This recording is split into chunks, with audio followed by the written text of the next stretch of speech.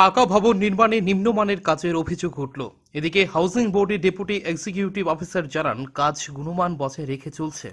ঘটনা রাজধানীর সখীচরণ বিদ্যালয়ে। সেই বিদ্যালয়ে নতুন পাকা বাড়ি তৈরি হচ্ছে প্রায় দু তিন বছর ধরেই।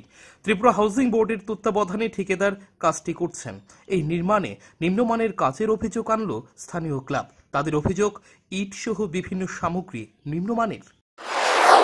ক্লাবের তরফ অভিযোগ হচ্ছে, আজকে তিন বছর যাবৎ এখানে সগিচন স্কুলের কাজ শুরু হয়েছে। কিন্তু যে কাজের যে মান দেখছি, দেখে ওনাদের কন্ট্রাক্টর যাদের উপরে কন্ট্রাক্টর দিয়ে করা হয়েছে, উনি আবার ওনার লেবার কন্ট্রাক্টর দিয়ে কাজ করাচ্ছেন, মালিক যে কন্ট্রাক্টর নিয়েছে। কিন্তু উনি দেখা করার জন্য বলছি যে কাজের মান ভালো হচ্ছে না, এটা বলার জন্য। কিন্তু উনি তো এখন পর্যন্ত আমাদের সঙ্গে দেখা করেনি। আজকে কালকে এসছে, এসে দেখি ইটগুলি পায়ে দিয়ে শুধু পায়ে লাথি দিলে ইট ভেঙে যাচ্ছে। এই ধরনের এত নিম্নমানের ইট। এবং সেটা যখন আমরা কালকে দেখে না করেছি, এই ইট গিয়ে যাতে কাজ না হয়, এবং কাজ যাতে বন্ধ হয়, বন্ধ রাখা হয় মালিকের সঙ্গে দেখা হওয়ার পরে যাতে কাজ করা হয়। কিন্তু সকাল- সকালবেলা এসে দেখি সব ইটি উপরে তুলে নিয়েছে, উপরে দিয়ে পুরোদমে কাজ চলছে। তারপরে আমরা কাজ বন্ধ করে করাই এবং এই দিয়ে যাতে কাজ না হয় এবং এখানের টিচার, হেডমাস্টার তাদেরকে খবর দেওয়া হয়। তারাও আসে, তারাও সব দেখে। দেখে তারা ইঞ্জিনিয়ার বাবুদের কাছে গেছেন। হাউজিং বোর্ডের ডেপুটি এক্সিকিউটিভ অফিসার জানান, নির্মাণ কাজ হচ্ছে গুণমান বজায় রেখেই সোমবার একটি অভিযোগ পেয়ে সরজমিনে খতিয়ে দেখতে এসেছেন। তিনি বলেন, এতদিন কোনো অভিযোগ ছিল না, তবে কিছু ইট পাল্টে দেওয়া হবে।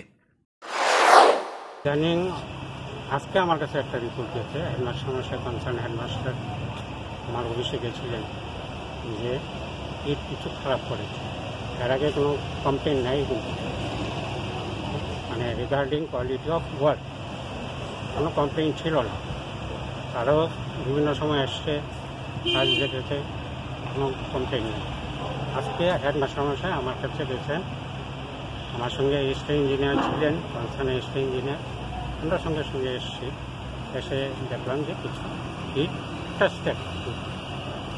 খারাপ, সেটা আমরা মানে কন্ডাক্টারকে ডেকে রিমুভ করার চেষ্টা করেছি। এদিকে ঠিকাদারের অভিযোগ, ব্যক্তিগত স্বার্থ সিদ্ধির জন্য কেউ ক্লাবকে ব্যবহার করে এমন অভিযোগ করা হচ্ছে। তিনি নাম না বললেও পরোক্ষে বোঝাতে চেয়েছেন, টাকা দেওয়ার জন্য চাপ দিয়েছে। নিম্নমানের না আমরা স্পেসিফিকেশনে কাজ করাচ্ছি এবং এটা তো এমন কিছু না যে হিডেন্স কিছু না, এটা ওপেন পরে আছে। সমস্ত মালপত্র এখানে করা আছে, আপনি দেখতে পারেন। আর আমাদের ইঞ্জিনিয়াররা থাকেন। স্পেসিফিকেশন হচ্ছে কিনা এটা তারা দেখভাল করার জন্য সরকারি ইঞ্জিনিয়ার আছেন। এমন কোনো কিছু নাই যে আমরা গোপন করে কাজটা করতে পারব। এটা আপনারা নিজেরা বিচক্ষণ মানুষ দেখতে পারেন কোনো কিছু গোপন আছে কিনা।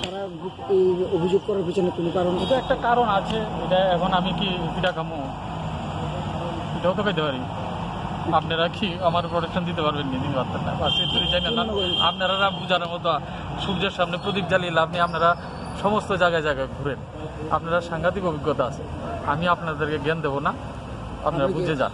আপনি কি বাধার সম্মুখীন বা কোথাও এটারই প্রতিফলন। এটা কি কোনো রাজনৈতিক ষড়যন্ত্র না না না না রাজনৈতিক ষড়যন্ত্র ব্যক্তিগত ষড়যন্ত্র। মানে আপনার কাছে কি টাকা চেয়েছে পরোক্ষভাবে তো চাই। কত টাকা চেয়েছে? না এইগুলি তো এখনও আমার কাছে আমি আপনাদেরকে দিতে পারতাম না। প্রশ্ন উঠছে, এতদিন ধরে নির্মাণ কাজ সবার চোখের সামনে চললেও লিখিতভাবে ঊর্ধ্বতন কর্তৃপক্ষের কাছে কেন অভিযোগ জানানো হয়নি? তাই দাবি উঠেছে, দপ্তর তদন্তক্রমে প্রকৃত ঘটনা উদ্ঘাটন করুক, পাশাপাশি নিম্নমান কাজ হলে তা বের করা হোক। রিপোর্ট, চ্যানেল তিন রাত।